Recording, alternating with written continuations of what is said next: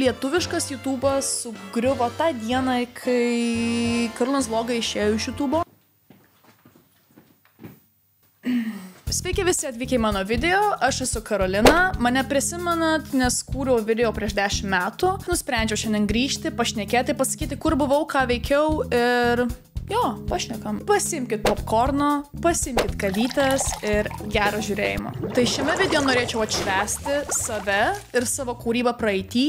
Ir aišku, jeigu prisimenat mane, nepatingėkit pakomentuoti, parašyti labas Karolina, nes prisiminus, mano visi fanai, žiūrovai tais laikais buvo 112 jauni, nes aš buvau jauna. Šiaip galvoju apie šitą praeitį ir negaliu patikėti. 13 metų Aš buvau PR specialist. Sugebėjau suorganizuoti šimto žmonių fan meetą Vilniaus Akropolyje. 13 metų. Visų pirma, neprisimenu, ar kažkas kitas turėjo tos fan meetus, bet sukūriau, atėjo žmonės. Nemanau, kad šių laikų influenceriai galėtų lyginti savo žiūrovus, savo fanus su tais fanais, kuriuos turėjome mes 10 metų atgal YouTube'e. Oi, buvo linksma kurti. Prisimenu, žmonės kurdavo meme pages, fanų puslapius, uh, turėjau video kūriau uh, Safko Mail, kur žmonės man siuntė laiškus, gavau apie šimtą laiškų, net gavau McDonald's kuponiukus litais. Um, jo, kūryba buvo kitokia. Tai nežinau, jeigu mane prisimenat, 2015 ir 2016 metais buvau labiausiai prenumeruojama mergina kūrėja YouTube'ai.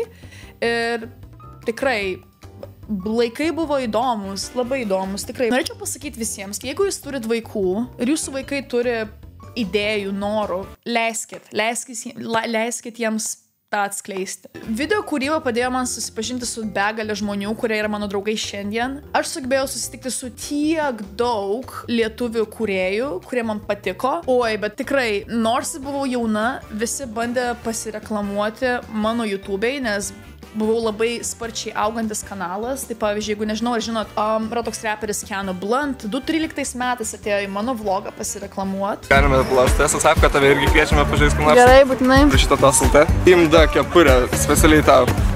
Ir parašyta kam. Ir štai yra. Oi, oi, digital footprint. Paskui yra youtuberis Vaidotas, man atrodo, žinote, nežinau, man atrodo, jisai labiausiai subscribintas lietuvis. Irgi man rašė, Karolina, gal gali padėti su YouTube, kaip čia pinigų užsidirbti. Dainininkė, nuomonės formuotoja um, Meskino Karolina. Um, irgi buvo mano fanė, atėjo pafotkint mane. Šiaip nesu užtikrinta, gal jinai ten Eda Šyraną fotkino, bet Jo, susitikau su Šalčiūtė ir susitikau su visais kitais kuriejais, savo mėgstamiausiais kuriejais. Vėjavo iki pasakyk kažką. Labas, niekada nematyta. Norėjau susitikti. Jo, aš irgi. Veikia. Veikia. Gyvatukas ne. Mano gyvatukas ne. Būdama paauglė, aukti tokioje aplinkoje buvo tikrai faina. Nes neradau interviu už 12 ar 13 metų, kur manęs paklausė, kuo nori būti užaugus. Ir atsakiau, kad noriu dirbti šitoje sferoje. Penktas klausimas. Kokia tavo profesija bus, kai užaugs? Ką žinau, šiaip tai galvojau kažką gal susijęs su sportu arba tiesiog su e, video kūryba, gal kokia reklaminė nu, į reklaminę ten agentūrą, ką žinau, nu, kažką galvoju. Ir taip vis dar kuriu video, profesionali karjera yra paremta video kūryba ir socialiniais tinklais, tai tas nepasikeitė. Ir manau, tai yra geras pavyzdys, kai kaip maža mergaitė iš 500 žmonių kaimo sugebėjo susikurti YouTube ir išpopuliarėti. Nes visų pirma, kai pradėjau kurti video 2012 metais, turėjau labai stiprų lenkišką akcentą, nes esu Lenkija iš Lietuvos, bet išmokau gerai išnekėti lietuviškai YouTube pagalba. Nes jeigu sulyginkim video 2012 metais filmuotą. Šiandien tokia keista tema kalbu, nežinau, čia man kažkaip sunervino labai SKFM žmonės. Ir šiaip žmonės lietuviai, šitie lietuviai, ta prasme.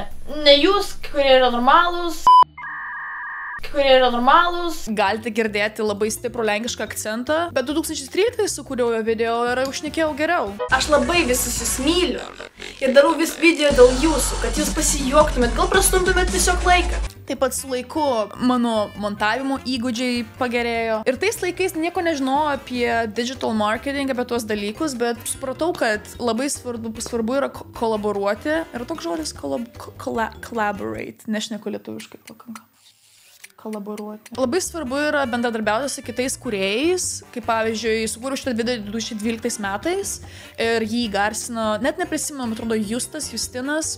Niekas apie jį nežinojo. Niekas jo nematė. Taip pat susitikdavau su kitais youtuberiais ir filmuodavom video kartu ir taip galėdavom pasireklamuoti vienas kito video. Bet prašau, apšvieskit mane, kas vyksta šiandien, kas vyksta dabar lietuvi, lietuviškam YouTube'e, ar yra tų gerų kuriejų. Na ir aišku, jeigu, jeigu jums patinka mano video, jeigu prisimenat mane, parašykit komentaruose labas Karolina, prisimenu tave ir gal kažką dar nufilmuosiu, nes kodėlgi ne. Aišku, žiūrėdamas savo senus video, supratau, kad ten labai daug yra cringe'o ir manau, kad jeigu noriu būti geriausiu, stipriausiu žmogum, kuris nebijo to cringe'o, turėčiau, turiu tiesiog atsisėst ir žiūrėti tai. Exposure therapy. Tai pavyzdžiui, labai šitas video yra svarbus. Jeigu prisimenat, buvo toks dalykas kaip jump stylas.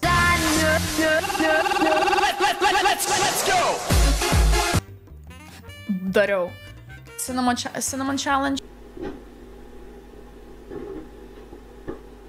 viską išbandžiau. Ir, ir mylėjau aš tą hardbasą taip stipriai, kad tai buvo vienas iš mymų. Ras, ras, ras, Рыжко колбасы, веселее, пацаны. Ir šiandien man patinka technuškė, techno, reivai, tai nemanau, kad kažkas pasikeitė. Esmė tame, kad aš tikrai nenorėjau būti populiari, man tiesiog patiko kurti video. Man buvo 12-13, aš nežinojau, kad tu gali užsidirbti pinigų iš YouTube, nes nieks dar neuždirbdavo tų pinigų. Aš tiesiog turėjau begalę idėjų ir norėjau jas įgyvendinti, nes man patiko kurti, patiko filmuoti. Manau, šiais laikais kurti video yra žymiai ir lengviau, nes visų pirma, tais laikais telefonai nefilmavo gerai. Tais laikais nebuvo jokių, labai, labai buvo sunku montuoti kažką nemokamai, rasti tų gerų uh, programėlių ir tikrai aš neturėjau pinigų. Na, bet YouTube'as tikrai man padėjo išmokti lietuviškai, išmokti angliškai, susirasti draugų uh, ir pradėti savo karjerą video kūryboje. Manau, problema dabar, kad visi nori būti influenceriais,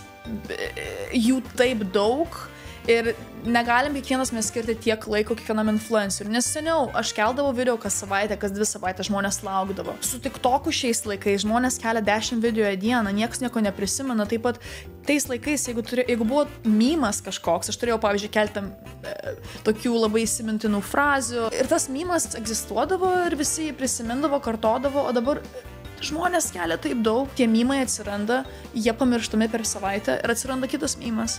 Tai tikrai labai viskas pasikeitė. YouTube'as sugriuvo tą dieną, kai aš išėjau iš YouTube'ės. Na gerai, aš juokauju, YouTube'as nesugriuvo, bet pripažinkit, YouTube'as šiandien ir YouTube'as tais laikais tikrai skiriasi. Ačiū, kad žiūrėjote nuostabų video, su jumis buvo Karolina. Paspauskite subscribe, jeigu spėjot atsubscribinti per tiek metų, nes turėjau, man atrodo, 50 tūkstančių followerių prieš tai, bet dabar neturiu. Palaikinkite šitą video, pakomentuokit, jei norit mane ir vėl pamatyti, parašykite. Gal, nežadu, nežadu, kad Sako grįžo, nes sakiau per daug kartų, kad Sako grįžo, bet jeigu labai norėsite, gal grįšiu. Tai, nu tai, iki.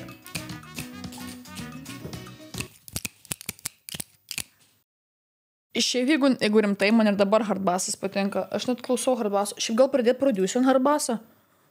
Safko. MC Safko.